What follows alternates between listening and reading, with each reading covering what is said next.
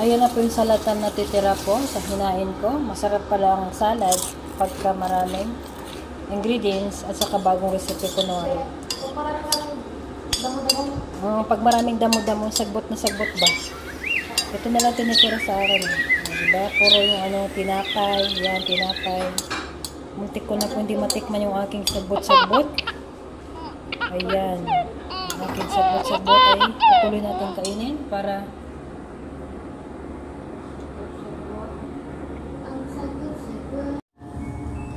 Hello, hello mga guys, mga ka-vlog. Ito na po ang atin. Na-prepare ko na yung aking gagawin na salad. Yung salad ko po ay napakasimple lang. Ito po ang aking gagawin na salad. So, uh, nahiwa.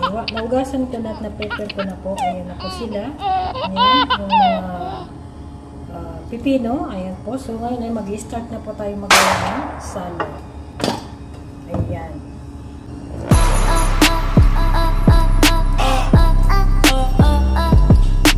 Yan po yung ating gagawin na salad na may simsim. May simsim sa atin po ay uh, nakalimutan ko ng pangalan nito. Basta ang gagawin ko salad nito, ang pangalan ay patos. So meron siya nitong regla kung tawagin sa Arabic ay regla.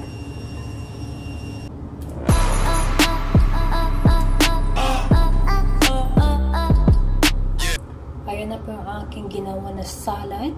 Ayan yung mga vegetable na mga salad na nakamix na. Anaks naman. May pa, may maganon, may ganon, may ganon, di ba?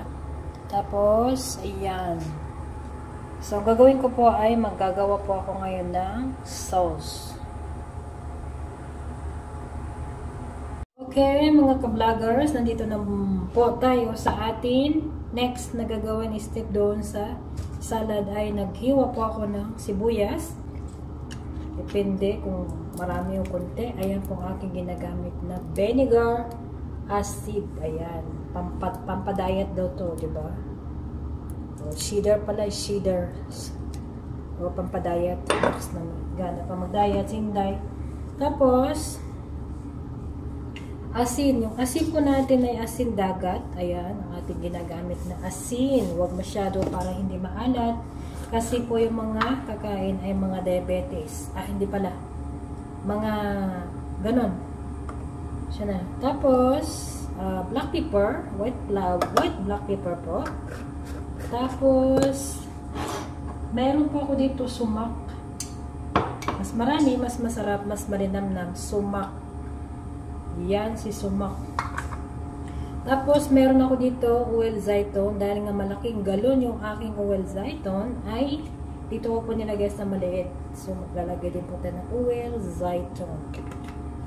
Tapos po, last po na step natin ay mayroon po ako dito balsamic. Oh, matapon na. Meron po ako dito balsamic. Ayan, si paring balsamic. So, maglalagay din po tayo dito ng mga amount of 2 spoon table. Okay. 2 spoon table. Last step po natin ay lemon. Maglalagay po tayo ng lemon. Siguro mga amount ng lemon nilalagay natin ay mga 2 spoon table. Okay? Tapos, now ay hahaluin po natin sila. Hahaluin po natin sila para po sila mag-meeting-meeting sa loob ng manger cup. O, diba? Sila ay tapos na. Isit aside po natin sila ng mga half hour bago po natin sila ilaglag doon sa ginawa natin na salad. At yung ginawa ko po na bread na shami, ayan po, iniwahiwa ko po siya ng stick. Tapos po, hmm, okay na.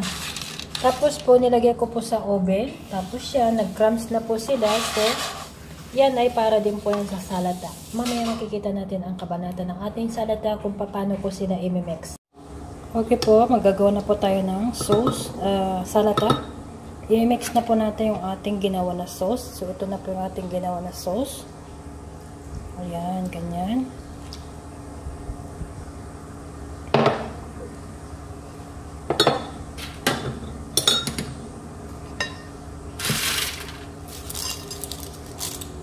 Ayan po. Tapos, i-mix po natin sila. I-mix.